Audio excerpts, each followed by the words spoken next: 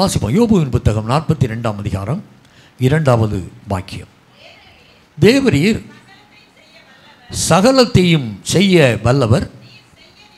நீர் செய்ய நினைத்தது தடைபடாது என்று அறிந்திருக்கிறேன். கண்களை தாழ்த்தி ஜெபிப்போம். இரக்கமும் கிருபையும் உள்ள நல்ல பிதாவே இந்த நல்ல வேலைக்காக உம்மை ஸ்தோத்தரிக்கிறோம் உம்மை வாழ்த்துகிறோம் உமக்கு நன்றி செலுத்துகிறேங்க தாவே. நீர் நல்லவர். நீர் செய்ய நினைத்தது தடைபடாது என்று சொல்லக்கூடிய அறிவு யோபுவுக்கு இருந்தது. தேவ பிள்ளைகளாகிய எங்களுடைய வாழ்க்கையில் அநேகருக்கு அந்த அறிவு இல்லாதபடியினால் நாங்கள் கலங்கி தவிக்கிறோம். இந்த நாளிலே இந்த வசனத்தை தொடர்ந்து நாங்கள் தியானித்து கிறிஸ்துவுக்குள் திடப்பட அந்த அறிவை அடைய எங்கள் யாவருக்கும் கத்தர் எங்கள் ஒவ்வொருடைய வாழ்க்கையிலும் நீர் செய்ய நினைத்திருக்கிற காரியங்கள் தடைபடாதபடிக்கு நிறைவேற ஆண்டவர் கிருபை பாராட்டும். இயேசுவின் நாமத்தில் பிதாவே. மீண்டும் இந்த வசனத்தை நாம் வாசிக்கலாம். தேவரீர் சகலத்தையும் செய்ய வல்லவர். நீர் செய்ய நினைத்தது தடைபடாது என்று சொல்லி அறிந்திருக்கிறேன். இன்னைக்கு பொதுவாக தேவ மக்களாகிய நமக்கு வேத அறிவு உண்டு. உலகத்திலே பல்வேறு காரியங்களை நாம் பார்க்கிறோம் கற்றுக்கொள்கிறோம். உலக அறிவு நமக்குள்ளே இருக்கிறது. ஒரு குடும்பத்தை நடத்துவது எப்படி என்று சொல்லக்கூடிய அறிவு இருக்கிறது. ஆண்டவரை நாம் பல்வேறு விதத்தில் அறிந்திருக்கிறோம். எல்லாருக்குள்ளும் இந்த யோபுக்குள் இருந்த அறிவு இருப்பது இல்லை நான் அடிக்கடி வியந்து பார்க்கிற ஒரு காரியம் யோபுனுடைய வாழ்க்கையில் ஏற்பட்டது போன்ற உபத்திரமும் ஒருவேளை விசுவாசிகளாகிய நம்முடைய வாழ்க்கையில் ஏற்பட்டிருக்குமே ஆனால் நாம் இவ்விதமாக இருந்திருப்போம் என்று சொல்லி நான் சிந்தித்து கலங்கியது உண்டு. ஆனால் யோபு எப்படி இவை எல்லாவற்றையும் தாக்கு பிடித்தான் எல்லாவற்றையும் கடந்து செல்ல அவனுக்கு எப்படி முடிந்தது? அவ்வளவு பாடுகள் அவ்வளவு துயரங்கள் அவ்வளவு நெருக்கங்கள் அத்தனை பிள்ளைகளையும் சாக கொடுக்கிறான் அத்தனையும் இழந்து தவிக்கிறான். நிந்தை நெருக்கம் அவமானம் பரிகாசம் பைத்தியக்காரனைப் போல அவனுடைய வாழ்க்கை மாறிவிட்டது. ஒரு குஷ்டரோகியை காட்டிலும் கேடுகட்ட சரீரத்தோடு கூட அவன் காணப்படுகிறான். இந்த சூழ்நிலையை அவன் எப்படி கடந்து சென்றான் என்பதற்கு இந்த வசனத்திலே ஒரு பெரிய ஆதாரம் இருக்கிறது. பாருங்கள் அவன் சொல்லுகிறான் நீ செய்ய நினைத்தது தடைபடாது என்று சொல்லி அறிந்திருக்கிறேன். அந்த அறிவு அவனுக்குள் இருந்தபடியினால்தான் என் மாம்சம் முதலானவைகள் அழிந்த பின்பும் என் தேவனை நான் பார்ப்பேன் என் நேசரை என் கண்கள் என் சொந்த கண்ணால் பார்ப்பேன் என்று சொல்லி அவன் சொன்னான். எல்லாம் போய்விட்டது. சரீரம் ஒரு குலைந்து விட்டது. நிந்தையின் நெருக்கமும் அவமானமும் அவனை சூழ்ந்து கொண்டது. ஆனால் அவனுக்குள்ளே ஒரு விசேஷமான அறிவு இருந்தது. விசேஷமான ஞானம் இருந்தது. ஆண்டவர் என்னுடைய வாழ்க்கையிலே எதை செய்ய விரும்புகிறாரோ அதை நிச்சயமாக நிறைவேற்றுவார். இன்று எல்லாமே எதிரடையாக இருக்கிறது. எல்லாவற்றையும் நான் இழந்துவிட்டேன் சரீர ஆரோக்கியத்தை இழந்துவிட்டேன் செல்வாக்கு போய்விட்டது அந்தஸ்து போய்விட்டது ஐஸ்வர்யம் போய்விட்டது பிள்ளைகள் மறித்து விட்டார்கள் எல்லாம் இழந்தாலும் எனக்குள்ளே ஒரு அறிவு இருக்கிறது. அது என்ன அறிவு? என் தேவன் என்னோடு கூட இருக்கிறார். அவர் என்னை கொண்டு செய்ய நிறைவேற்ற விரும்புகிற சகல காரியத்தை என்னுடைய வாழ்க்கையில் நிறைவேற்றுவார் ஹலலூயா எந்த அறிவு எந்த மனுஷனுக்குள் இருக்கிறதோ அவன் எந்த காலகட்டத்தையும் கடந்து செல்ல முடியும். அவன் சோர்ந்து போக மாட்டான். அவன் மனம் தூதலித்து போக மாட்டான். அவன் கலங்கி தவிக்க மாட்டான். கலக்கங்கள் வரும் பாடுகள் வரும் பிரயாசங்கள் வரும் கண்ணீர்கள் வரும் இழப்புகள் வரும் துக்கங்கள் வரும் வேதனைகள் வரும். ஏன் எனக்கு இப்படி ஆயிற்று என்று சொல்லி கேட்க மாட்டான். யோபுவை போல தைரியமாக இருப்பான் ஆண்டவரே எனக்கு நியமித்ததை நீர் செய்து முடிக்க வல்லவராக இருக்கிறீர். என்னை குறித்து உமக்கு ஒரு திட்டம் இருக்கிறது என்னுடைய குடும்பத்தை குறித்து உமக்கு ஒரு திட்டம் இருக்கிறது என்னுடைய பிள்ளைகளை குறித்து உமக்கு ஒரு சித்தம் இருக்கிறது நிச்சயமாக அதை நிறைவேற்றுவீர் ஆண்டவரே. அந்த அறிவு எனக்குள்ளே இருக்கிறபடியினால் இந்த சூழ்நிலையில் நான் சோர்ந்து போவதில்லை. உமக்கு துதி ஸ்தோத்திரங்களை ஏறெடுக்கிறேன் என்று சொல்ல முடியும். ஹலலூயா ஹலோ எரிமையா தீர்க்கதரிசி சொல்கிறான் பத்து பனிரெண்டில் அவரே பூமியை தம்முடைய வல்லமையினால் உண்டாக்கி பூச்சக்கரத்தை தம்முடைய ஞானத்தினால் படைத்து வானத்தை தம்முடைய அறிவினால் விரித்தார். அப்படிப்பட்ட சர்வ வல்லமை உள்ள தேவன் நம்முடைய பிதாவாக இருக்கிறார். உலகத்தில் எந்த மனுஷனும் அப்படி சொல்ல முடியாது. இப்படிப்பட்ட சர்வ வல்லமை உள்ள ஒரு வார்த்தையினால் உலகத்தை உருவாக்கி மண்ணின் புழுதியில் இருந்த மனுஷனை உருவாக்கி வானாதி வானங்களுக்கு மேலாக உயர்ந்திருக்கிற சர்வ வல்லமையுள்ள தேவன் நம்முடைய சொந்த பிதா. அவர் செய்ய நினைத்தது தடைபடாது. என்னை அவர் துளையான சேற்றில் மரண குழியிலிருந்து தூக்கி எடுக்கும் போதே என்னை குறித்து அவருக்கு ஒரு திட்டம் இருக்கிறது. என்னை குறித்து அவர் ஒரு சித்தத்தோடு தான் அழைத்தார். ஒவ்வொரு மனிதனை குறித்து ஒரு திட்டம் இருந்தது. அந்த திட்டத்தின்படி தான் அழைத்தார். திட்டத்தின்படி தான் அவர்களை கூட்டிச் சென்றார் திட்டத்தின்படி தான் நடத்தினார். போராட்டம் இருந்தது நெருக்கங்கள் இருந்தது நிந்தைகள் இருந்தது கஷ்டங்கள் இருந்தது கண்ணீரின் அனுபவங்கள் இருந்தது. ஆனாலும் கர்த்தர் செய்ய நினைத்தது தடைபடவில்லை. இறைமையா சொல்கிறான் பத்து ஆறில் கர்த்தாவே உமக்கு ஒப்பானவன் இல்லை. நீர் பெரியவர் நீரே பெரியவர். உமது நாமமே வல்லமையில் பெரியது என்று சொல்லி சொல்கிறார். தாவிது இன்னும் அதிகமாய் சொல்கிறான் ஐஸ்வர்யமும் கனமும் உம்மாலே வருகிறது. தேவரீர் எல்லாவற்றையும் ஆளுகிறவர். உம்முடைய கரத்திலே சத்துவமும் வல்லமையும் உண்டு. எவரையும் மேன்மைப்படுத்தவும் பலப்படுத்தவும் உம்முடைய கரத்தினால் ஆகும். எவரையும் என்று சொல்லக்கூடிய வார்த்தை ரொம்ப முக்கியம். ஏழையாக இருந்தாலும் ஞானமற்றவனாக இருந்தாலும் படிப்பறிவில்லாதவனாக இருந்தாலும் ஒருவேளை கர்த்தருக்கு பிரியமில்லாத பாம்பமான காரியங்களை உளையான சேற்றிலே கிடந்து இன்று மனம் திரும்பினவனாக இருந்தாலும் ஆண்டவர் அவனை மேன்மைப்படுத்த முடியாது யாரும் தடை பண்ண முடியாது தடை பண்ண முடியாது. இந்த அறிவு இல்லாதபடியினால்தான் அன்பான தேவனுடைய பிள்ளைகளை அநேக வேலைகளில் நாம் சோர்ந்து போகிறோம். ஏசையா தீர்க்கதரிசி கர்த்தருடைய வார்த்தையை உரைக்கிறான். ஏசையா நாற்பத்தி மூன்று பதினொன்று பதிமூன்று இதெல்லாம் வாசித்து பாருங்க. நான் நானே கர்த்தர் என்னை இல்லாமல் ரட்சகர் இல்லை. நாள் உண்டாகிறதற்கு முன்பும் நானே இருக்கிறேன். என் கைக்கு தப்புவிக்கத்தக்கவன் இல்லை. நான் செய்கிறதை தடுப்பவன் யார்? நான் செய்ய நினைக்கிறதை யார் தடுக்க முடியும்? நான் உன்னுடைய வாழ்க்கையிலே இஸ்ரவேல் ஜனங்களுடைய வாழ்க்கையிலே தேவ மக்களுடைய வாழ்க்கையிலே சபையிலே ஊழியக்காரனுடைய வாழ்க்கையிலே செய்ய நினைக்கிறதை யார் தடுக்க முடியும்? ஆண்டவர் கேட்கிறார். கர்த்தரே கேட்கிறார்.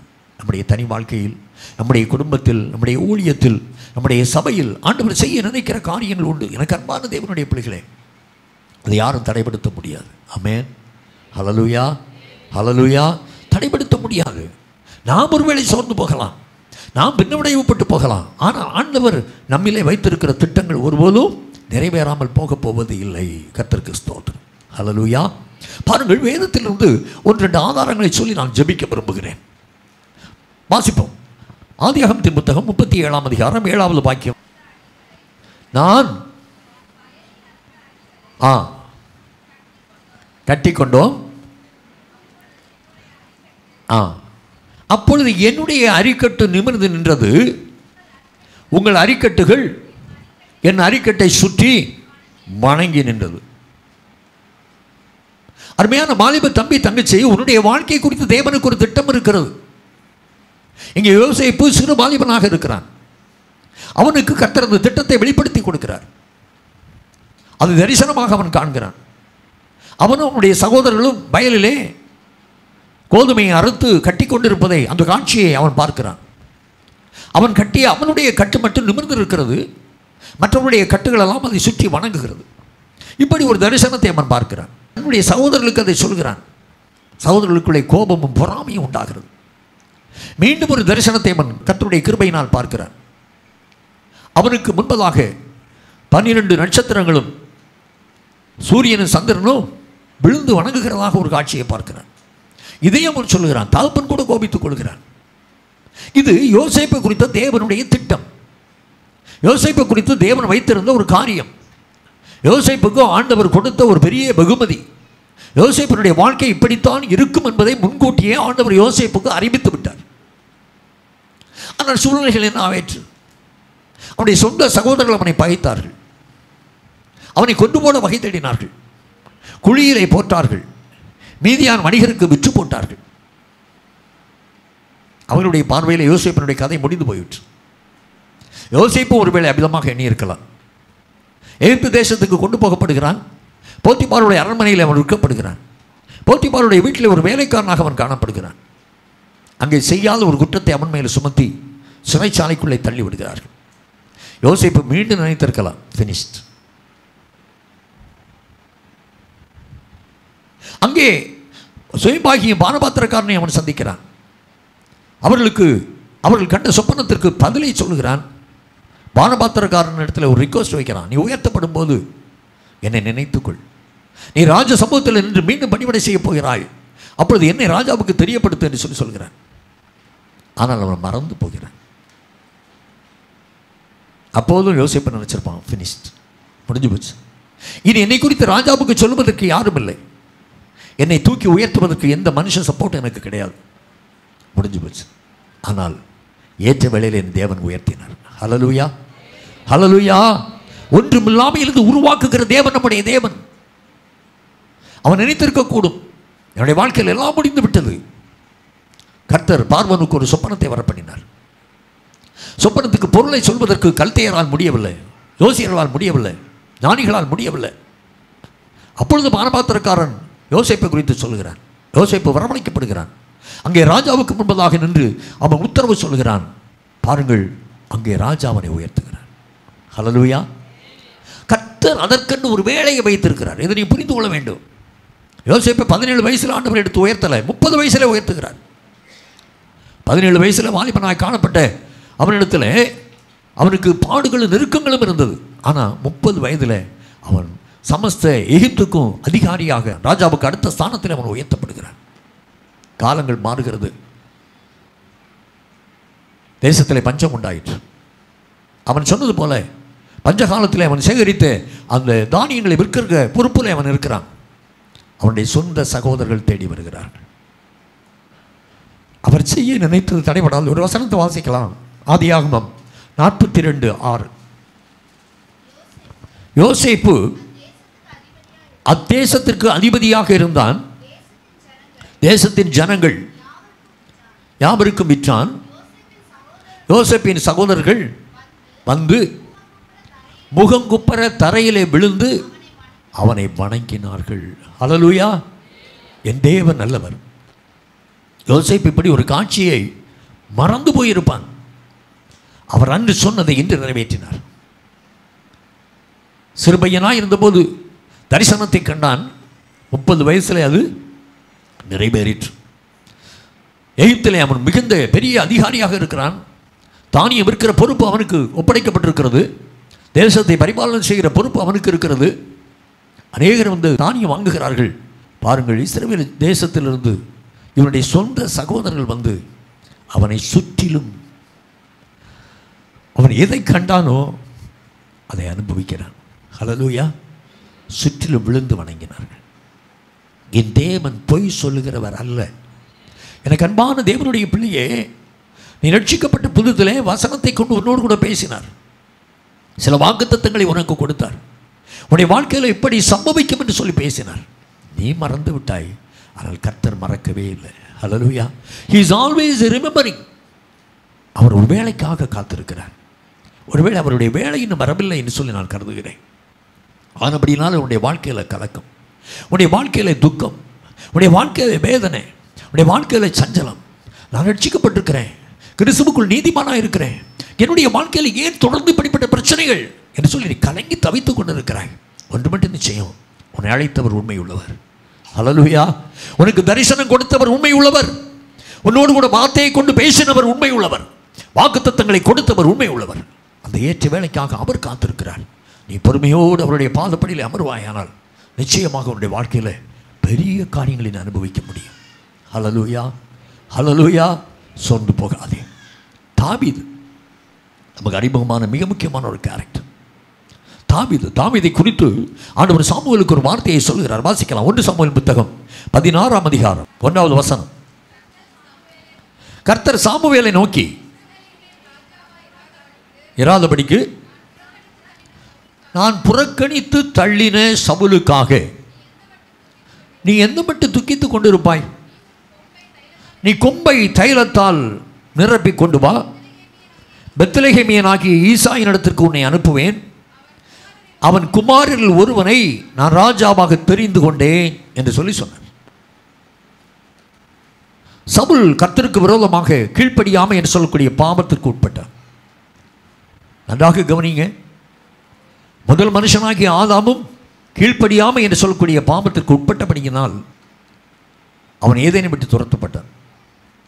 சபுலும் கர்த்தருடைய வார்த்தைக்கு முழுமையாக கீழ்ப்படியாததினால் ராஜ்ய பாரத்திலிருந்து துரத்தப்பட்டான். நம்ம எல்லாரும் கர்த்தருடைய வார்த்தைக்கு கீழ்ப்படுகிறோமா? அனுதினமும் வேதம் வாசிக்கிறோம்? கை கொள்கிறோமா சிந்தித்து பாருங்கள் அவர் கிருபை இன்னும் நம்ம இங்கே வைத்திருக்கிறார். அவர் கிருபை இன்னும் பிள்ளை என்று சொல்லக்கூடிய சிலாக்கியத்தை நமக்கு தந்திருக்கிறார் கீழ்ப்படிய மனதாக இருப்போம். அவன் கீழ்ப்படியவில்லை. ராஜ்ய பாரத்தை அவனை விட்டு எடுத்து விடுவதாக கர்த்தர் சாமுவேல் மூலம் அவனுக்கு அறிவித்தார். அது மட்டுமல்ல எனக்கு இஷ்டமான எனக்கு பிரியமான ஒருவனை அந்த காரியத்தில் நான் ஏற்படுத்துவேன் என்று சொல்லி சொன்னார். சாமுவேல் சமலை பார்த்து சொல்லுகிறான் கர்த்தர் இன்று உம்மிடத்தில் இருந்த இஸ்ரேவேலின் ராஜ்யத்தை கிழித்து போட்டு உம்மை பார்க்கல் உத்தமனாயிருக்கிற உம்முடைய தோழனுக்கு அதை கொடுத்தார். ஆல்ரெடி டன் என்று சொல்லி அவன் சொல்லுகிறான் சவுல் கிளம்புகிறான் அது ஒரு பெரிய லாங் ஸ்டோரி ஆனால் இறுதியாக ஒன்று கர்த்தர் பெத்லேஹேமியனாகிய ஈசாயினுடைய குடும்பத்துக்கு நேராக சாமுவேலை அனுப்புகிறார். அங்கே அவருடைய பிள்ளைகள் வரிசையாக வருகிறார்கள். ஒவ்வொருவர் மீதும் அவன் தைல கொம்பை எடுத்து அபிஷேக தைலத்தை ஊற்ற முற்படும் போது இவன் இல்லை என்று சொல்லி கர்த்தர் சொல்கிறார். இனி யாராவது இருக்கிறார்களா? இன்னொருவன் இருக்கிறான். ஆடுகளை மேய்த்துக் கொண்டு வனாந்தரத்திலே கிடக்கிறான். அவனை அழைப்பி என்று சொல்லி சாமுவேல் சொன்னபோது அவன் அழைப்பிக்கப்படுகிறான். கர்த்தர் சொன்னார் பன்- ஒன்று சாமுவேல் பதினாறாம் அதிகாரம் பன்னிரெண்டு பதிமூணில் வாசித்து பார்ப்போம் ஆனால் இவன் தான் நீ எழுந்து இவனை அபிஷேகம் பண்ணு என்றார். அபிஷேகம் பண்ணப்பட்டு விட்டான் அவன் சிறு வாலிபன் தகப்பன் ஆள் விட்டு அழைத்திருக்கிறான். இங்கே வந்தால் சாமுவேல் தீர்க்கதரிசி நின்று கொண்டிருக்கிறான். தைல கொம்பு அவன் கையில் இருக்கிறது. கர்த்தருக்கு சாமுவேலோடு கூட பேசுகிறார். இவன் தான் இவனை அபிஷேகம் பண்ணு. அவன் ஒரு வாலிபன் அவனுக்கு இந்த நிகழ்ச்சி புரியாத புதிராக இருந்திருக்கும். எதற்காக சாமுவேல் என்னை அபிஷேகம் பண்ண வேண்டும்? தெரியல. எதற்கென்று கேட்பதற்கு உள்ள வயதும் அவன் இல்லை. ஆனால் ஒன்று அவன் சாமுவேல் அவனை அபிஷேகம் பண்ணின உடனே பரிசுத்த ஆவியானவர் அவனுக்குள்ளே இறங்கி விட்டார் பரிசுத்த ஆவியானவர் அவனுக்குள்ளே வாசம் பண்ணினார். அதற்கு பிற்பாடு நமக்கு தெரியும். யுத்த காலத்திற்கு ஆண்டவர் அழைத்து சென்றார். அங்கே ஒரு அறிமுகம் அவனுக்கு கிடைக்கிறது. பெலிஸ்தியனை கொண்டு போடுகிறார். சவுல் கொண்டது ஆயிரம் தாபீது கொண்டது பதினாயிரம் என்று சொல்லி ஜனங்கள் ஆடி பாடி மகிழ்கிறார்கள். சவுல் காயம் காரம் கொள்ளுகிறார் மனாந்தர நாரையைப் போல தாவீது வாழ வேண்டிய ஒரு சூழ்நிலை உண்டாகிவிட்டது. ஓடுகிறான் ஓடுகிறான் ஓடிக்கொண்டே இருக்கிறான். ஆனால் ஒன்று அவனுக்குள்ளே அந்த அறிவு இருந்தது. எந்த அறிவு? கர்த்தர் செய்ய நினைத்தது தடைபடாது. சபலுக்கு விரோதமாய் அவன் தன்னுடைய பட்டயத்தை எடுக்கவில்லை. சபலுக்கு விரோதமாய் தன்னுடைய ஈட்டியை தூக்கவில்லை. சபருக்கு விரோதமாய் தன்னுடைய கரத்தை உயர்த்தவே இல்லை. ஆனால் அவனுக்கு ஒரு நிச்சயம் இருந்தது. என் தேவன் தான் சொல்லியதை நிச்சயமாக நிறைவேற்றுவார். அவர் செய்ய நினைத்து ஒருபோதும் தடைபடாது சவுல் என்ன சவுல்?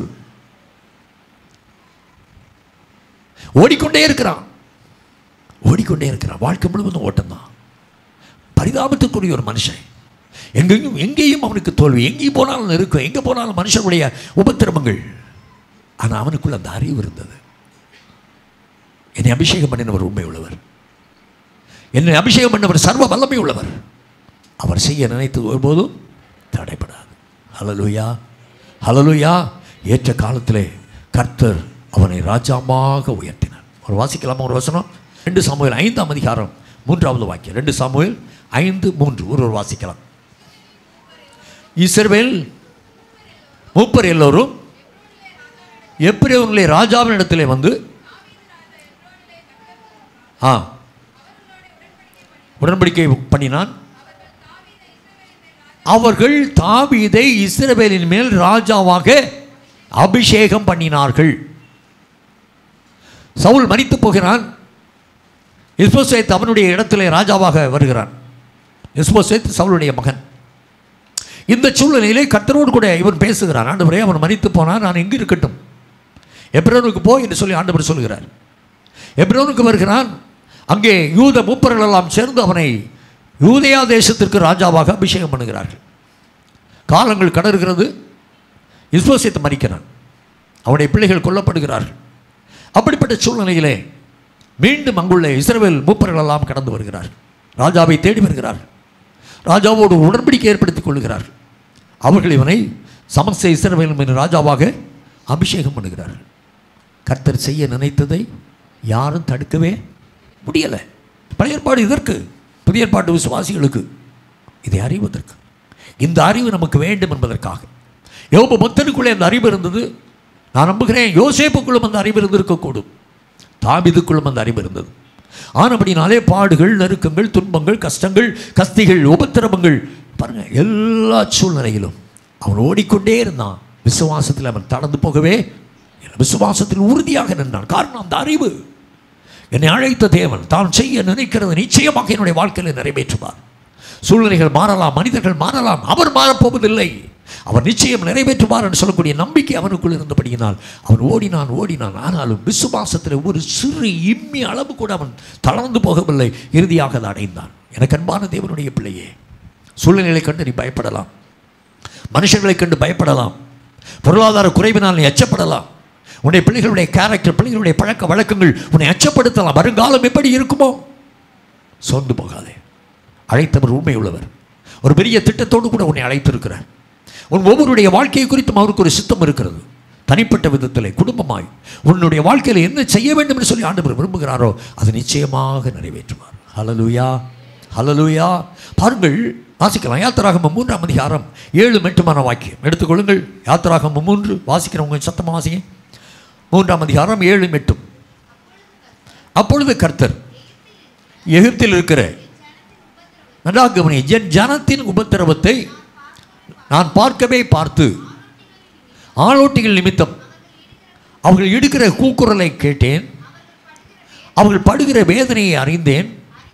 ஆ அவர்களை எகிப்தியன் கைக்கு விடுதலையாக்கி ஆ அந்த தேசத்திலிருந்து நீக்கி கானானியரும் ஏத்தியரும் எமோரியரும் எபூசியரும் ஏபியரும் எபூசியரும் எடுக்கிற இடமாகிய பாலும் தேனும் ஓடுகிற நலமும் விசாலமுமான இடத்திலே கொண்டு போய் சேர்க்கவும் இறங்கினேன். மோசைக்கு ஆண்டவர் ஒரு பெரிய திட்டத்தை விவரித்து பேசுகிறார். இந்த இஸ்ரேல் ஜனங்கள் எகிப்திலே அடிமைகளாக இருக்கிறார்கள். ஆளோட்டிகளால் கொடும் துயரங்களை அனுபவிக்கிறார்கள். விடுதலையை வாஞ்சித்து கதறுகிறார்கள். தேவனை நோக்கி அபயமிடுகிறார்கள் பரலோகத்தின் தேவன் அவருடைய கூக்குரலை கேட்கிறார். அவருடைய உபத்திரவங்களை பார்க்கிறார். அவர்களுக்கு இறக்கம் செய்யும்படியாக இறங்கிவிட்டார். இப்போது மோசை என்று சொல்லக்கூடிய மனுஷனை அழைக்கிறார். சொல்கிறார் நான் எல்லா சூழ்நிலையும் அறிந்திருக்கிறேன். அவருடைய வேதனைகள் எனக்கு தெரியும். அவருடைய கண்ணீர் எனக்கு தெரியும். துக்கம் எனக்கு தெரியும். அவருடைய கூக்குரல் நான் கேட்டிருக்கிறேன். அவர்களை நான் இங்கிருந்து விடுவித்து பாலும் தேன் ஓடுகிறேன். நலமும் விசாலமுமான ஒரு தேசத்திலே கொண்டு போய் நாட்டப் போகிறேன். நீ அவர்களை நடத்த வேண்டும் என்று சொல்லி சொல்கிறார் ஹலலுயா தேவனுடைய திட்டம் மோசைக்கு விவரிக்கப்பட்ட போது மோசை அதை நம்பவில்லை. அடுவரை வேற யாரையாகிலும் அனுப்பும் என்று சொல்லி சொன்னார். ஆனால் நாட்கள் செல்ல செல்ல மோசைக்குள்ளே விசுவாசம் உண்டாயிற்று. இவர் நினைத்தது போல் அந்த திட்டம் மிகவும் எளிதாக நிறைவேறவில்லை. பார்வோன் கடினப்பட்டான். அங்கே பார்க்கிறோம் பலவிதமான வாதிகளை. ஆண்டவர் அந்த தேசத்தில் கட்டளையிட்டு பார்வனுடைய இருதயத்தை கரைந்து போக பண்ணினார். இறுதியிலே தலைப்பிள்ளைகள் தலை ஈற்றுகள் எல்லாம் கொல்லப்பட்டது. பார்வன் இறங்கினான். போங்கள் உங்களை தேவனுக்கு ஆராதனை நடத்துங்கள் என்று சொல்லி துரத்தி அடித்து விட்டார் வருகிறார்கள் பின்தொடர்கிறார் அவருடைய இருதயம் இன்னமும் கடினப்படுகிறது. ஜனங்களெல்லாம் கூக்கரலிடுகிறார்கள். ஐயோ நாங்கள் மனாந்திரத்தில் மடியும்படியாகவா எங்களை அழைத்து கொண்டு வந்தீர்? மோசையை குற்றம் சாட்டுகிறார்கள். மோசை தளர்ந்து போகவில்லை. அவனுக்குள்ளே ஒரு விசேஷமான அறிவு இருந்தது. அமேன் தேவன் சொன்னதை நிறைவேற்ற வல்லவர். தேவன் சொன்னதை நிச்சயமாக செய்து முடிப்பார். அவர் செய்ய நினைக்கிறதை யாரும் தடை பண்ண முடியாது. அந்த நிச்சயம் அவனுக்குள் இருந்தபடியினால் தேவனை நோக்கி பார்த்தான். தேவன் கரத்தை உயர்த்தச் சொன்னார். கோலை எடுக்கச் சொன்னார். கடலுக்கு நேராக நீட்டச் சொன்னார். அவர் சொன்ன வார்த்தைக்கு கீழ்ப்படிந்தான். கடல் இரண்டாக பிறந்தது ஜனங்கள் வனாந்தர மார்க்கமாய் தப்பி பிழைத்தார்கள். சொன்னபடி யோசுவாவின் நாட்களில் அது நிறைவேறிற்று. அலலுயா யோசுவா பதினெட்டாம் அதிகாரம் பத்தாவது வாக்கியத்தை ஒரு வாசிக்கலாமா? யோசுவா பதினெட்டு பத்து. ஸ்தோத்திரம்.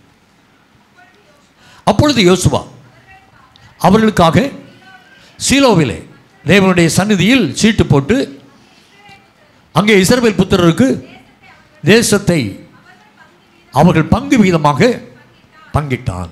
எனக்கு அன்பான தேவனுடைய ஜனமே தேவன் மோசைக்கு சொன்னது யோசுவாவுடைய நாட்கள் அப்படியே நிறைவேறிற்று. சத்துரு தடை செய்ய முடிந்ததா? மனிதர்கள் எத்தனையோ பேர் எழுப்பினார்கள் தடை செய்ய முடிந்ததா? எத்தனையோ ராஜாக்கள் அவர்களை தடை செய்தார்கள் தடை செய்ய முடிந்ததா? முடியவில்லை. கர்த்தர் ஒன்றை செய்ய நினைத்தால் அது யாராலும் தடை செய்யவே முடியாது. ஹலலுயா ஹலலுயா இந்த அறிவு நமக்கு வேண்டும். இந்த அறிவு நமக்குள் இருந்தால்தான் சூழ்நிலைகளை நாம் கடந்து செல்ல முடியும். சூழ்நிலைகளை நாம் மேற்கொள்ள முடியும். மனிதர்களை நாம் கடந்து செல்ல முடியும். எல்லாவற்றிலும் நாம் ஜெயம் எடுக்க முடியும். ஹலலூயா இன்னொரு மிக முக்கியமான ஒரு சம்பவத்தை உங்களுக்கு நான் சொல்ல விரும்புகிறேன். சாலமன் ராஜா ஆலயத்தை கட்டிவிட்டான். கிமு அறுநூற்றி நாலு முதல் ஐநூற்றி அறுபத்தி ஒன்று வரைக்கும் ராஜாங்கம் செய்த நேபுகாத் நேஜார் படையெடுத்து வந்து சாலமனுடைய இந்த ஆலயத்தை தரைமட்டமாக இடித்து தூளாக்கி போட்டு ஆலயத்தில் இருக்கிற எல்லா பனிமுட்டுகள் பொன் வெள்ளி எல்லாவற்றையும் கவர்ந்து சென்று விட்டான். பாத்திரங்கள் எல்லாவற்றையும் கவர்ந்து சென்று விட்டான். காலங்கள் கடறுகிறது. காலங்கள் கடறுகிறது. அவன் பாபிலோன் ராஜா கல்தேயருடைய ராஜா. அவனுடைய ஆட்சி வீழுகிறது. பெல்ஷாசார் என்று சொல்லக்கூடிய அவனுடைய பேரன். அவன் ஆண்டு கொண்டிருக்கும் போது கிமு ஐநூற்றி முப்பத்தி எட்டில் மேதியனாகிய தரியு அவனை கொண்டு போட்டு ராஜ்யபாரத்திற்கு வருகிறார். தரியுனுடைய காலத்திலே பரிசையனாகிய கோரே சமனுக்கு விரோதமாக எழும்பி தருவியை அகற்றிவிட்டு அவன் ராஜ்யபாரத்துக்கு வருகிறான். ஐநூற்றி முப்பத்தி எட்டில். ஐநூற்றி ஐம்பத்தி ஒன்பது வரைக்கும் அவன் ராஜ்யபாரத்தில் இருக்கிறான். நன்றாக கவனிங்க கர்த்தர் இடிக்கப்பட்ட அந்த ஆலயத்திற்கு பதிலாக ஒரு ஆலயத்தை கட்ட தம்முடைய உள்ளத்தில் ஒரு திட்டத்தை வைக்கிறார். இந்த கோரேசை அதற்காக தெரிந்து கொள்ள அவர் விரும்புகிறார். இதை குறித்து முன்கூட்டியே இறைமையாவுக்கு ஆண்டவர் தெரியப்படுத்தினார்.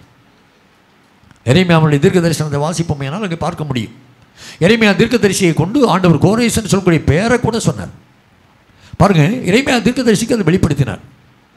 இப்போது கோரேஸ் ராஜ்யபாரத்தில் இருக்கும்போது கர்த்தர் அவனோடு கூட இடைபடுகிறார். அவன் புறஜாதியின் ராஜா. அவன் பெர்சியன். அவன் கிரேக்கன் அல்ல. அவன் ரோமன் அல்ல. அவன் யாரும் இல்லை. இஸ்ரேவேலனும் அல்ல. பெர்சிய ராஜாவாகிய கோரேஸோடு ஆண்டவர் இடைபடுகிறார். அவன் சொல்லுகிறான் வாசிப்பான் இஸ்லாமின் புத்தகம். ஒன்றாம் அதிகாரம் ஒன்று இரண்டு வசனத்தை வாசிக்கலாம். S Ezra. ஒன்றாம் அதிகாரம் ஒன்று இரண்டு வாக்கியங்கள். பிள்ளைகள் வாசிங்க. எரேமியாவின் வாயினாலே கர்த்தர் சொன்ன வார்த்தை நிறைவேறும்படி பெர்சியாவின் ராஜாவாகிய கோரேசுடைய முதலாம் வருஷத்திலே கர்த்தர் பெர்சியாவின் ராஜாவாகிய கோரேசின் ஆவியை ஏவினதினாலே அவன் பரலோகத்தின் தேவனாகிய கர்த்தர் பூமியின் ராஜ்யங்களை எல்லாம் எனக்கு தந்தருளி. யூதாவில் உள்ள எருசலேமிலே தமக்கு ஆலயத்தை கட்டும்படி எனக்கு கட்டளையிட்டு இருக்கிறார் கோரேசுக்கு ஒரு நம்பிக்கை இருந்தான் அந்நிய தேவனை வணங்குகிறவன் புறஜாதியான். ஆனால் அவன் சொல்லுகிறான் பூமியில் உள்ள சகல ராஜ்யங்கள் எனக்கு தந்தது யாரு? இஸ்ரேலின் பரிசுத்தராக இருக்கிற தேவன். எதற்காக தந்திருக்கிறார் தெரியுமா? எருசலேமேர் அவருக்கு ஆலயத்தை கட்டுவதற்காக என்னை ஏற்படுத்தி இருக்கிறார். என்று சொல்லி அவன் சொன்னது மட்டுமல்ல அவன் கஜனாவிலிருந்து நேபுகாத் நேச்சார் களமாடி கொண்டு வந்த எல்லா பொருட்களையும் மறுபடியும் இஸ்ரேல் ஜனங்களுக்கு ஒப்புவிக்கிறான். தலைவர்களை ஏற்படுத்துகிறான். அங்கிருந்து ஒரு கூட்டம் ஜனங்கள் ஆலயத்தை கட்டும்படியாக புறப்பட்டு வருகிறார்கள். சிறுபாபேல் யெசுவா இன்னும் அநேகர். இப்படி அவங்க ஒரு சிறு கூட்டமாய் சிறு கூட்டம் தலைவர்கள் கிட்டத்தட்ட ஐம்பதாயிரம் ஜனங்கள் வருகிறார்கள். ஐம்பதாயிரம் ஜனங்கள் பாபிலோன் தேசத்திலிருந்து புறப்பட்டு வந்து பாருங்கள் எருசலேம் பட்டணத்திலும் சுற்றியுள்ள அவரவர் கிராமங்களிலும் போய் குடியேறுறாங்க குடியேறின பிற்பாடு அவர்களை தேசத்தை கட்டுவதற்கு முனைப்பு காட்டுகிறார்கள் அது சொல்லப்பட்டிருக்கிறது. ஆனால் பாருங்கள் கோரேசனுடைய ஆட்சி மாறி அவனுடைய மகன் அகாசுவேரு ஆட்சிக்கு வருகிறார் ஐநூற்றி இருபத்தி ஒன்பதில். அதைத் தொடர்ந்து அவனுடைய மகனாகிய அஸ்த் அர்த்தசஸ்டா ராஜாவாக வருகிறார். இந்த ரெண்டு பேரும் அரசாண்ட காலத்தில் இவர்கள் ஆலயத்தை கட்டி கொண்டிருக்கிறார்கள் இது அறிந்த சத்துருக்கள் ராஜாவுக்கு ஒரு பெட்டிஷன் போடுறாங்க. மனு கொடுக்குறாங்க. என்ன மனு? இதோ இசைவர்கள் கலகக்காரர்கள். எருசலேம் வந்து கலக பூமி. அந்த கலக பூமியிலே அவர்கள் அங்கிருந்து புறப்பட்டு வந்து இங்கே வந்து ஆலயத்தை கட்டி கொண்டிருக்கிறார்கள் இவர்கள் ஆலயத்தை கட்ட அனுமதித்தால் ஆலயத்தை கட்டுகிறார்கள் என்று சொல்லி அவர்கள் சொல்லவில்லை. ஒரு பெரிய கோட்டையை கட்டுகிறார்கள். அப்படி அவர்கள் கோட்டையை கட்டி போட்டால் நமக்கும் அவர்களுக்கு இடையே நீங்கள் ராஜ்யபாலம் பண்ண முடியாது. ஆளுகைக்கு கீழாக இருக்க மாட்டாங்க. கலகம் பண்ணுவாங்க. வரி கொடுக்க மாட்டாங்க என்று சொல்லி ஒன்று ரெண்டு பெட்டிஷன் அனுப்பினதுனால இந்த ராஜாக்கள் என்ன செய்கிறாங்க அந்த வேலையை நிறுத்தி போடுகிறார்கள். அர்த்த சசாவின் காலத்தில் அந்த வேலை நிறுத்தப்படுகிறது. நிறுத்தப்பட்டு விட்டது. ஆனால் அவங்களுக்குள்ள அந்த விசுவாசம் இருந்தது. ஹலலூயா ஹலலூயா விசுவாசம் இருந்தது. செயல்தியலுக்குள்ள அந்த விசுவாசம் இருந்தது. செருபாபாயிலுக்குள்ள அந்த விசுவாசம் இருந்தது. மீகாவுக்குள்ள அந்த விசுவாசம் இருந்தது. நெகேமியாவுக்குள்ள அந்த விசுவாசம் இருந்தது. விசுவாசத்தில் அவர்கள் குறைந்து போகவில்லை. ஆனாலும் தேவனுடைய வேலைக்காக போராடி கொண்டிருந்தார்கள். சத்துருக்கள் அவருடைய வேலையை தடுத்து போட்டு விட்டார்கள். ராஜ கட்டளை அரசாங்கம் அவர்களுக்கு விரோதமாய் வந்துவிட்டது. எந்த அரசாங்கம் அவர்களை கட்டுப்படியாக சொன்னதோ எந்த அரசாங்கம் அவர்களுக்கு எல்லா பொருட்களையும் கொடுத்து உதவியதோ எந்த அரசாங்கத்தின் ராஜா அவர்களுக்கு பல்வேறு விதத்தில் உதவி செய்வதாக வாக்களித்தானோ அவனுக்கு பின்னால் வந்த ராஜாக்கள் அந்த வேலையை தடை பண்ணி போட்டு விட்டார்கள். கர்த்தர் சொன்னதை செய்து முடிக்கிறவர். அவரால் ஆகாத காரியம் ஒன்றுமே இல்லை. இறுதியாக ஒன்று பெருசியனாகிய தரியு ஐஸ்தாஸ்பீஸ். இவன் ஆட்சிக்கு வருகிறார் இவன் ஆட்சிக்கு வந்த உடனே இந்த சங்கதிகள் எல்லாம் அவனுக்கு சொல்லப்படுகிறது. அவனுடைய ஜனங்களே அந்த செய்திகளை சொல்லுகிறார்கள் சொன்ன உடனே அவன் பெரிய கட்டளையை ஏற்படுத்துகிறான்.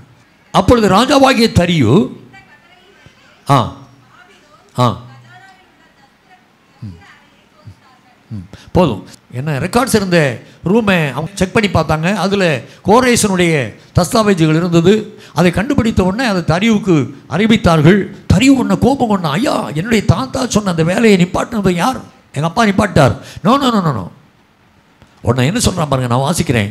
பரலோகத்தின் தேவனுக்கு சர்வாங்க தகன பலியிட தேவையான இளங்காளைகள் ஆட்டுக்கடாக்கள் ஆட்டுக்குட்டிகள் கோதுமை உப்பு. ஏழாவது வசனத்திலிருந்து வருது. ஆறாம் அதிகாரம் ஏழாவது வசனத்திலிருந்து நம்ம வாசிக்கலாம். அது நான் சொல்ல விரும்புகிறேன். எட்டு வாசிக்கிறேன். தேவனுடைய ஆலயத்தை யூதரின் மூப்பர் கட்டும் விஷயத்தில் நீங்கள் அவர்களுக்கு செய்யத்தக்கதாய் நம்மால் உண்டான கட்டளை என்னவென்றால் அந்த மனிதருக்கு தடை உண்டாகாதபடிக்கு நதிக்கு அப்புறத்தில் வாங்கப்படும் பகுதியாகிய ராஜாவின் திரவியத்திலே அவர்களுக்கு தாமதம் இல்லாமல் செல்லும் செலவு கொடுக்கப்பட வேண்டும். ராஜா பிரிக்கிற வரியை அப்படியே கொண்டு போய் ஆலய கட்டுமானபடிக்கு கொடுக்க ஏவுகிறான். மீண்டும் சொல்கிறான் பரலோகத்தின் தேவனுக்கு சர்வாங்க தகனபரிகளை இட தேவையான இளங்காலைகள் ஆட்டுக்கடாக்கள் ஆட்டுக்குட்டிகள் கோதுமை உப்பு திராட்சரசம் எண்ணெய் முதலானவை தினம் தினம் அவர்கள் சொற்படி தாட்சி இல்லாமல் கொடுக்கப்பட கடவுது. இரண்டாவது கட்டளை. மூன்றாவது சொல்கிறான் பாருங்க பின்னும் நம்மால் பிறக்கும் கட்டளை என்னவென்றால் எந்த மனிதனாவது இந்த கட்டளையை மாற்றினால் அவன் வீட்டிலிருந்து ஒரு உத்தரம் பிடுங்கி நாட்டப்படும் அவன் அதில் தூக்கி போடப்படவும் அது நிமித்தமாக அவனுடைய வீடு குப்பை மேடாக்கப்படவும் கிடப்பது. எந்த அரசாங்கம் ஆலயத்தை கட்டுவதை தடை செய்ததோ அதே அரசாங்கத்திலிருந்து ஒரு சட்டம் உண்டாகிறது. யாராவது தடை பண்ணீங்க உன் வீட்டிலிருந்து அந்த உத்தரத்தை பிடுங்கி அதை நாட்டி அதிலே நீ தூக்கி போடப்படுவாய் கொண்டு போடப்படுவாய். உன் குடும்பம் குப்பை மேலாக போய்விடும். எல்லாரும் பயந்து நடிக்கிட்டான் ஹalleluya. வாசிப்போம். எஸ்ரா ஆறாம் அதிகாரம் பதினைந்தாவது வாக்கியம். ஆறாம். ஆ. ஆ. ஆறாம் வருஷம். ஆதார் என்னும் மாதம் மூன்றாம் தேதியில் அந்த ஆலயம் கட்டி முடிக்கப்பட்டது. கோரேசனுடைய நாட்களிலே ஆண்டவர் கொண்டிருந்த திட்டம் தரிவினுடைய நாட்களில் தரிய ராஜ்யவாரத்திற்கு வந்த அரசாண்ட ஆறாம் வருஷம் ஆதார் மாதம் மூன்றாம் தேதி கட்டி முடிக்கப்பட்டது. ஹலலூயா ஹலலூயா ஹலலுயா எனக்கு அன்பான தேவனுடைய பிள்ளைகளே பதினேழு ஆண்டுகள் பதினேழு ஆண்டுகள். ஆலயத்தின் வேலை துவங்கினது முதல் கட்டி முடிக்கிற அல்லது கோரேசனுடைய நாட்கள் துவங்கி தரியனுடைய காலங்கள் வரைக்கும் பதினேழு ஆண்டுகள். ஆனால் அந்த வேலையை யாராலையும் தடை பண்ண முடியவில்லை. இது எதை காண்பிக்கிறது? தேவ பிள்ளைகளாகிய நம்முடைய ஊழியத்தில் ஆண்டவர் சில திட்டங்களை வைப்பார். தம்முடைய நாம மகிமைக்கென்று. அந்த திட்டத்தை யாரும் தடைப்படுத்தவே ஒருவேளை அரசாங்கம் நமக்கு விரோதமாக எழும்பலாம் மனுஷர்கள் நமக்கு விரோதமாக எழும்பலாம் சூழ்நிலைகள் நமக்கு விரோதமாக எழும்பலாம் எல்லாவற்றையும் ஆண்டவர் மாற்றி போடுவார். அரசாங்கத்தில் நமக்கு வேண்டியவர்களை ஆண்டவர் ஏற்படுத்துவார். அப்படிப்பட்ட சூழ்நிலை ஏற்படுத்துவார். கத்தருக்கு ஸ்தோத்திரம். அலலுயா ராஜாக்கள் தடை செய்தாலும் ஆண்டவர் செய்ய நினைக்கிறதே எந்த ராஜாவாலும் தடைப்படுத்த முடியாது. எனக்கு அன்பான தேவனுடைய ஜனமே இதையெல்லாம் வாசிக்கும் போது நமக்குள்ள என்ன தோன்றுகிறது? ஒருவேளை யோசிப்பை போல உன்னுடைய குடும்பத்தார் உன்னை புறக்கணிக்கலாம் வெறுத்து ஒதுக்கலாம் ஆனால் ஆண்டவர் உன்னுடைய வாழ்க்கையில் கொண்டிருக்கிற திட்டத்தை நிச்சயமாக செய்து முடிப்பார்.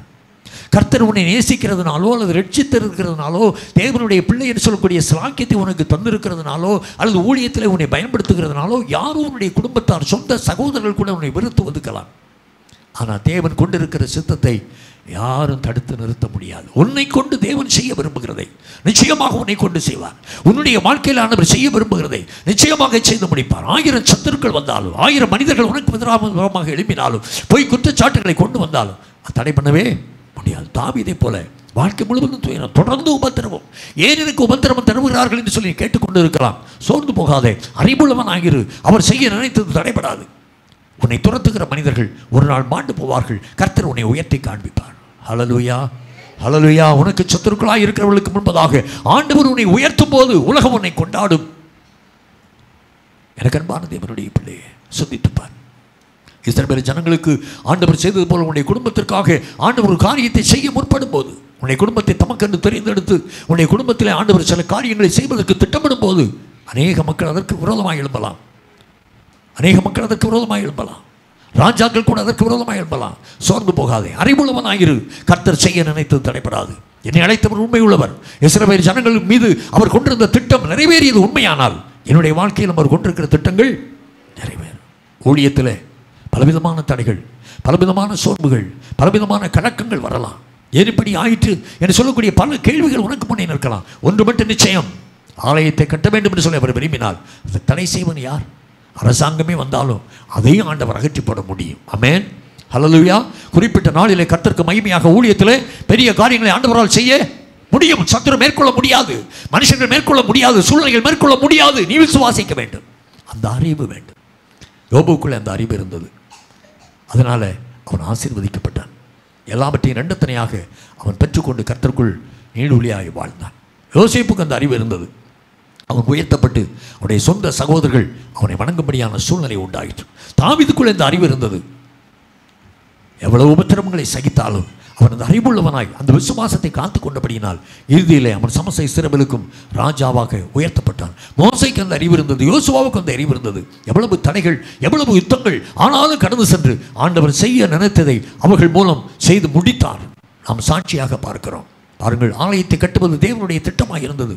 ராஜாக்களே அதை தடை பண்ணி போட முடியவில்லை. எந்த மனுஷனும் அதற்கு எதிராய் எழும்பக்கூடாதபடிக்கு ராஜாவினுடைய கட்டளை உண்டாயிற்று. தூக்கி போடப்படுவாய். எவ்வளவு பெரிய? ஒரு புறஜாதி ராஜா அல்ல? ஆண்டவர் செய்ய நினைத்தது தடைப்படாது முழங்கால் பண்ணிடுவோமா அவர் செய்ய நினைத்தது தடைப்படாது செய்ய நினைத்தது தடைப்படாது யோசிப்பை தனக்கென்று தெரிந்து கொண்ட போதே அவனுடைய வாழ்க்கையை குறித்து ஒரு முழுமையான திட்டத்தை தேவன் வைத்திருந்தார். தாமீதை கட்ட தமக்கென்று தெரிந்து கொண்ட போதே அவனுடைய வாழ்க்கையை குறித்து ஒரு பெரிய திட்டத்தை ஆண்டவர் வைத்திருந்தார். இஸ்ரேல் ஜனங்களை தமக்கென்று அவர் தெரிந்து கொண்ட போதே அவருடைய வருங்காலத்தை குறித்த ஒரு பெரிய திட்டத்தை அவர் வைத்திருந்தார். செருபாபையின் மேலும் ஆலயத்தை கட்டுவதற்கு ஆண்டவர் கோரேசனுடைய நாட்களிலே கட்டளை கொடுத்த போதே அதை எப்பொழுது நிறைவேற்ற வேண்டும் எப்படி நிறைவேற்ற வேண்டும் என்று சொல்லக்கூடிய பெரிய திட்டத்தை அவர் வைத்திருந்தார். யாரும் தடை பண்ண முடியவில்லை. உடைய தனி வாழ்க்கையில் ஆகட்டும் உடைய குடும்பத்தில் ஆகட்டும் உன்னுடைய தொழிலில் ஆகட்டும் உன்னுடைய ஊழியத்தில் ஆகட்டும் அன்பு சகோதரா பிரியமுள்ள சகோதரி கர்த்தர் செய்ய நினைக்கிறதை யாரும் தடைப்படுத்தவே முடியாது. கர்த்தர் செய்ய நினைக்கிறதை யாரும் தடைப்படுத்தவே முடியாது. நீ விசுவாசிக்க வேண்டும். ஒருவேளை சூழ்நிலைகள் உனக்கு எதிராக இருக்கலாம். காரியங்கள் உனக்கு வித்தியாசமாக இருக்கலாம். நீ எண்ணுவதற்கு வித்தியாசமாக மனிதர்கள் உனக்கு விரோதமாக எழும்பிக் கொண்டிருக்கலாம். சோர்ந்து போகாதே. ஆண்டவர் நிச்சயமாக சொன்னதை நிறைவேற்றுவார். அவர் நிறைவேற்றி முடிப்பார். அவர் வாக்களித்தார் என்றால் அவர் வார்த்தையை சொன்னார் என்றால் அதை எந்த மனுஷனும் தள்ளி போட முடியாது. எந்த மனுஷனும் தடைப்படுத்த முடியாது. தேவனுக்கு மேலாக எந்த அதிகாரமும் இல்லை. இஸ்ரவேலின் பரிசுத்தருக்கு மேலாக எந்த அதிகாரமும் இல்லை. அவர் நாம மட்டுமே பூமியிலே உயர்ந்தது. அவர் நாம மட்டுமே பூமியிலே உயர்ந்திருக்கிறது. அவர் சொல்ல ஆகும். அவர் கட்டளையிட நிற்கும். அவர் உன்னை கொண்டு அல்லது உன்னுடைய வாழ்க்கையில் எதை செய்ய விரும்புகிறாரோ அது நிச்சயமாய் நிறைவேறும். நம்புவாயா? எனக்கு அன்பான தேவனுடைய பிள்ளையே உலக சூழ்நிலைகளை கண்டு நீ சோர்ந்து போனாயோ? உன்னுடைய வாழ்க்கையில் நடைபெறக்கூடிய காரியங்களை கண்டு நீ சோர்ந்து போனாயோ? கலங்கி தவிக்க வேண்டாம். ஏன் இப்படி ஆயிற்றுன்னு சொல்லி கிளம்புகிறாயோ இல்லை. உன்னுடைய வாழ்க்கையில் ஆண்டவர் சொன்னேன் உனக்கு கட்டளையிட்டேன் உனக்கு தாம்பாக்கு தத்தமாய் பேசினேன் உனக்கு தரிசனங்களிலும் சொப்பனங்களிலும் பேசின எல்லாவற்றையும் இனி வரக்கூடிய காலங்களை நிறைவேற்றப் போகிறார். அதை புரிந்து கொள்ளும்படியாக கடந்து வா. தேவ சமூகத்தில் அறிக்கை செய் ஆண்டவரே. என்னுடைய வாழ்க்கையில் நீர் சொன்னதை நிறைவேற்ற வல்லவர். நீர் சொன்னதை நிறைவேற்றுவீர். நான் விசுவாசிக்கிறேன் ஆண்டவரே. எப்பொழுது இருக்கிற பாடுகள் மாறிப்போகும். எப்பொழுது இருக்கிற மனச்சோர்வுகள் மாறிப்போகும். என்னை அழைத்த தேவன் உண்மையுள்ளவர். நிச்சயமாக அதை நிறைவேற்றுவீர். அந்த நம்பிக்கையோடு தேவ சமூகத்தில் கடந்து வா. ஆண்டவருக்கு முன்பதாக உன்னை தாழ்த்து. சோர்வுகள் மாறட்டும். அபிசுவாசங்கள் மாறட்டும். பயங்கள் மாறட்டும். தேவ சமூகத்தில் உன்னை தாழ்த்துவாயா? ஆண்டவரை நோக்கிப்பார். யோசிப்பை உயர்த்தினவர். சகோதரெல்லாம் வந்து விழுந்து பணிந்து கொண்டார்கள். தாவீதை உயர்த்தினவர். சம இஸ்ரவேலரும் அவனோடு கூட உடன்படிக்கை பண்ணி அவனை ராஜாவாக அபிஷேகம் பண்ணினார்கள். இஸ்ரவேல் ஜனங்களை ஆசீர்வதித்தவர். கானானை நூல் போட்டு அவர்கள் பங்கிட்டுக் கொண்டார்கள்.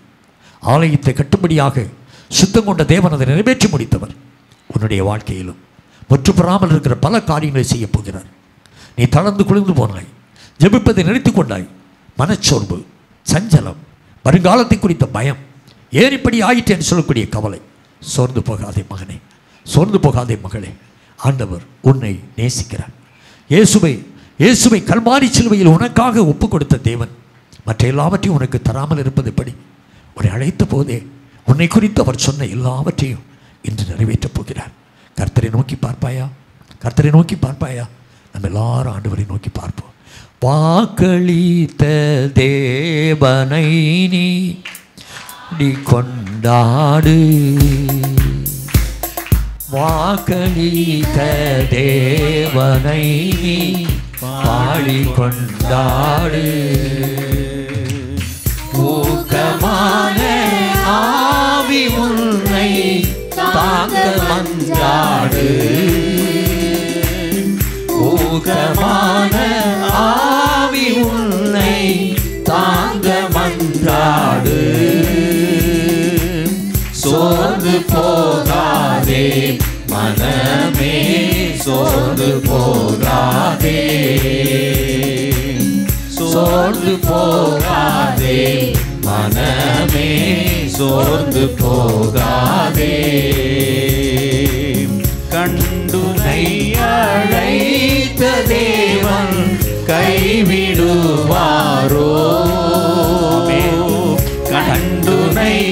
அழைத்த தேவன் கைவிடுவாரோ? சோர்ந்து போகாதே மனமே சோர்ந்து போகாதே. துன்பங்கள் தொல்லைகள் உன்னை சூழ்ந்து கொண்டாலும் துன்பங்கள் தொல்லைகள் உன்னை சூழ்ந்து கொண்டாலும் அன்பர் உன்னை தேற்றும் நேரம் ஆனந்தமல்லோ. அன்பர் உன்னை தேற்றும் நேரம் ஆனந்தமல்லோ. சோர்ந்து போகாதே மனமே. சோர்ந்து போகாதே. சோர்ந்து போகாதே. மனமே சோர்ந்து போகாதே. சோதனைகளை சகிப்போம் பாக்கியவானல்லோ. சோதனைகளை சகிப்போம் பாக்கியவானல்லோ ஜீவ கிரீடம் சூடும் நேரம் என்ன பேரின்பம் ஜீவ கிரீடம் சூடும் நேரம் என்ன பேரின்பம்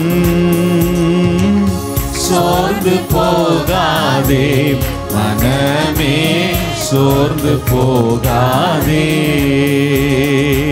சோர்ந்து போகாதே மனமே சோர்ந்து போகாதே.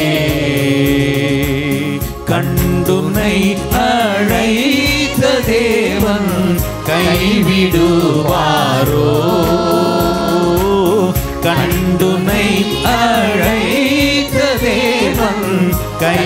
கைவிடுவாரோ சோர்ந்து போகாதே மனமே சோர்ந்து போகாதே சோர்ந்து போகாதே மனமே சோர்ந்து போகாதே சோர்ந்து போக வேண்டாம் வாக்களித்த தேவன் உண்மை உள்ளவர் உன்னை எதற்காக அழைத்தாரோ அதை உன்னுடைய வாழ்க்கையில் செய்து முடிப்பார் உன்னை கொண்டு செய்து முடிக்கும்படியாக எதை தீர்மானித்தாரோ அதை நிச்சயமாக உன்னை கொண்டு செய்து முடிப்பார் உன்னுடைய வாழ்க்கையில் உனக்காக அவர் எதை செய்து முடிக்க தீர்மானித்திருக்கிறாரோ அந்த காரியம் நிச்சயமாக உன்னுடைய வாழ்க்கையில் நிறைவேறும். துன்பங்கள் காணப்படலாம். தொல்லைகள் காணப்படலாம். அவைகள் உன்னை சூழ்ந்து கொண்டு இருக்கலாம் சொர்ந்து போகாதே. ஆண்டவரை நோக்கிப்பார். இயேசுவை நோக்கிப்பார். அவர் உனக்கு சகாயம் செய்கிறவர். அவர் செய்ய நினைத்தது ஒருபோதும் தடைபடா அவரை நோக்கி பார்ப்போமா?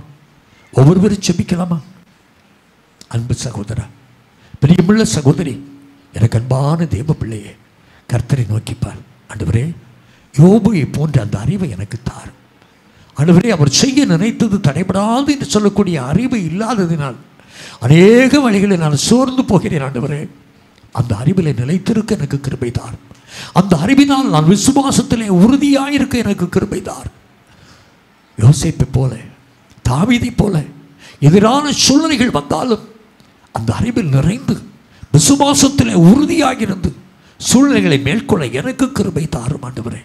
தேவசமத்தில் ஒப்பு கொடுப்பாயா? நாம் ஜெபிக்கலாம். இறக்கமுள்ள பிதாவே உடைய குமாரனாகிய கிறிஸ்து இயேசுவுக்குள் எங்களை நீ தெரிந்தெடுத்தீர். அப்பா பிதாவை என்று அழைக்கும்படியான பாக்கியத்தை எங்களுக்கு தந்தீர்.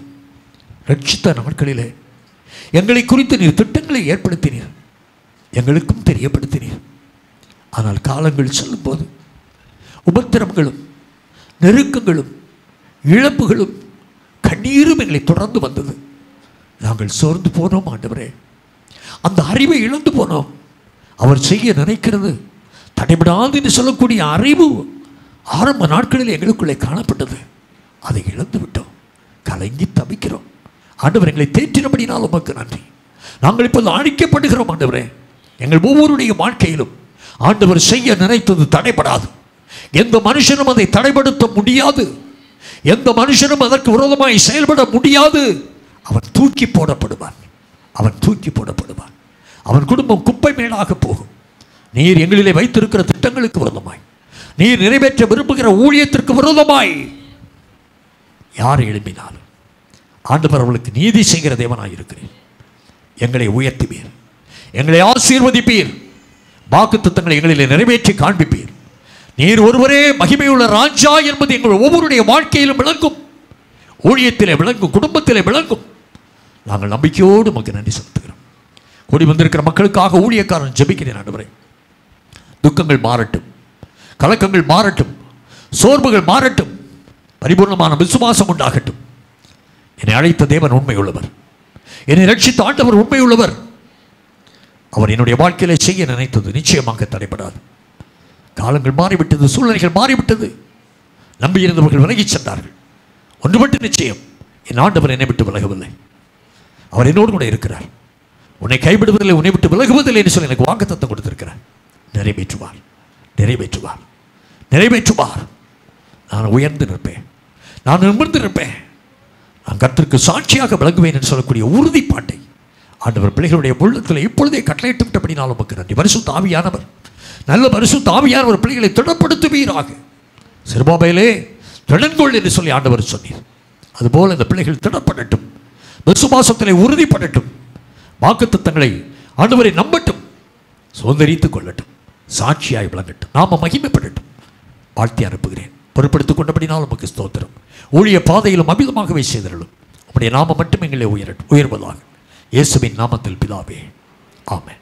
என் ஆத்துமாவே கர்த்தரை ஸ்தோத்திரி. என் முழுமையுடைய பரிசுத்த நாமத்தை ஸ்தோத்திரி. என் ஆத்துமாவே கர்த்தரை ஸ்தோத்திரி. அவர் செய்த சகல உபகாரங்களையும் மறவாதே. ஆமேன். ஆமேன்.